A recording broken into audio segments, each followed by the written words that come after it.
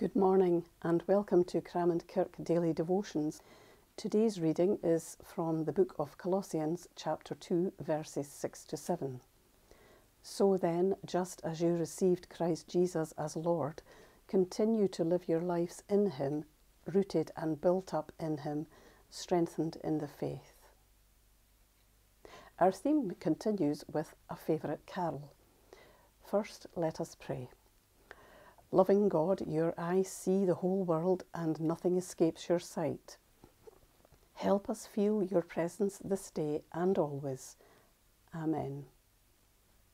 O come, all ye faithful is a favourite carol, and the first letter O is one of the great seven Advent antiphons, which run from the 17th until the 23rd of December, beginning with the Latin sapientia, meaning wisdom, and ending with Emmanuel, meaning God is with us.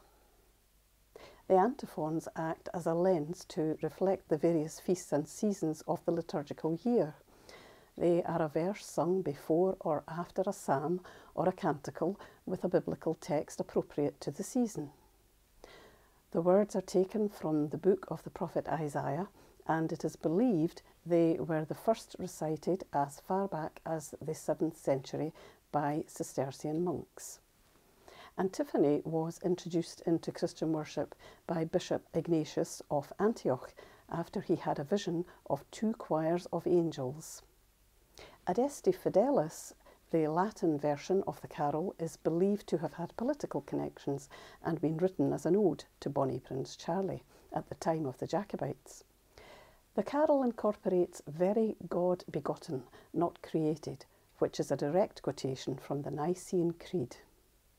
If we take the first letter of each of the seven Advent antiphons and move backwards, they spell out the Latin word ero cras, meaning tomorrow I will come.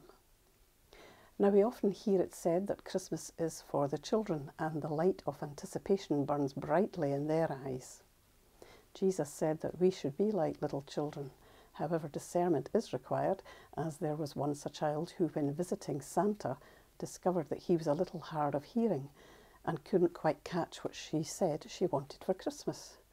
Imagine his surprise when she suddenly shouted, It's okay, I'll be back tomorrow with the Argos catalogue. Anticipation knew no bounds.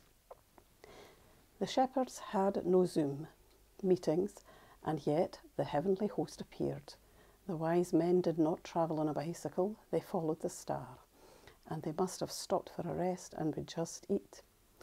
Mary and Joseph found the inn was unavailable, and yet the innkeeper had a light bulb moment of creative hospitality, where the deliveries of the lamb and the gifts were made to the stable.